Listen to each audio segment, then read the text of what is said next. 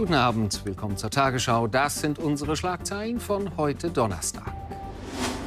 Verlängerung. Der Nationalrat beschließt zum vierten Mal ein Gentech-Moratorium. Der Anbau von gentechnisch veränderten Pflanzen ist in der Schweiz verboten und das soll so bleiben. Der Nationalrat hat sich klar für eine Verlängerung des Gentech-Moratoriums ausgesprochen.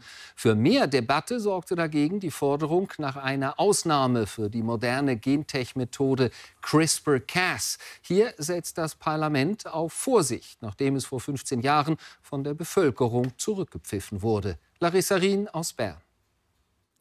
Das ist genetisch veränderter Weizen. Er ist weniger anfällig auf Mehltau als diese herkömmliche Weizenpflanze. Verändert wurde er mit der CRISPR-Cas-Methode. Sie ist in der Schweiz bisher nur zu Forschungszwecken erlaubt. Die FDP und neu auch die GLP wollen das ändern. GLP-Nationalrat Martin Bäumle schlug vor, CRISPR-Cas, auch Genomeditierung genannt, zu erlauben, sofern keine fremde DNA eingesetzt wird.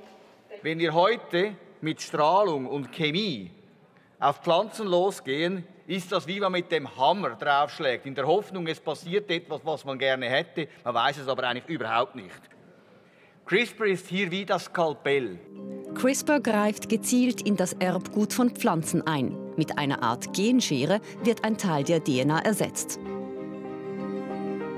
Zu den Risiken gehören beispielsweise unerwünschte oder nicht identifizierbare Änderungen des Erbgutes mit unter Umständen unerwünschten Folgen für die Gesundheit von Mensch, Tier und Umwelt. Für eine fundierte Risikoanalyse fehlen aber derzeit ausreichende wissenschaftliche Daten und Erfahrungswerte. Das Gentech-Moratorium kam vor 15 Jahren via Volksinitiative. Im Parlament war eine Mitte-Rechts-Mehrheit dagegen. Politisch haben die Mitte und die SVP seither eine Kehrtwende vollzogen. Vor 15 Jahren hat man ganz klar nicht in, in der letzten Konsequenz gewusst, was eigentlich diese Gentechnik-Varianten äh, beinhaltet. In der Zwischenzeit hat die SVP, aber auch der Bauernverband erkannt, dass äh, sie überhaupt keinen Gewinn bringen für die Schweizer Landwirtschaft, für die Schweizer Ernährungswirtschaft. Heute scheint die Bevölkerung weniger skeptisch gegenüber CRISPR zu sein als das Parlament, auch wenn sie nicht viel darüber weiß. Das zeigt eine neue Umfrage von GFS Bern. Den Befragten wurde kurz erklärt, wie die Methode eingesetzt werden könnte. Danach waren 45 Prozent klar oder eher dagegen, dass Genomediting unter das Moratorium fällt. 39 Prozent waren dafür. Im Parlament gab es nur freisinnige Stimmen für den GLP-Antrag. Doch die SVP gibt sich offen.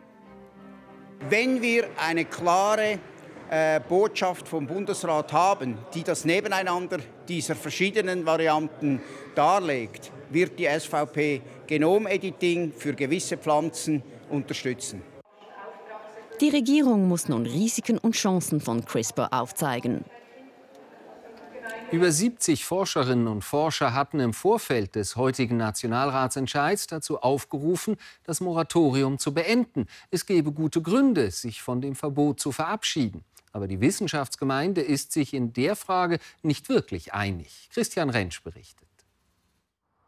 Dieser Mais soll robust sein gegen Pilzbefall, dank Gentechnik, angebaut auf einem bestens gesicherten Versuchsacker. Der Zaun soll vor Vandalismus schützen, nicht vor den gentechnisch veränderten Pflanzen. Die Agronomin Theresa Koller steht voll hinter dem Aufruf der Forschenden und findet das Moratorium falsch.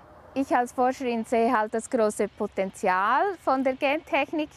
Ich selber arbeite in der Resistenzzüchtung und ähm, da sehe ich in meiner täglichen Arbeit, wie die Pflanzen eben zum Teil resistenter sind und man dann den Pestizideinsatz reduzieren kann.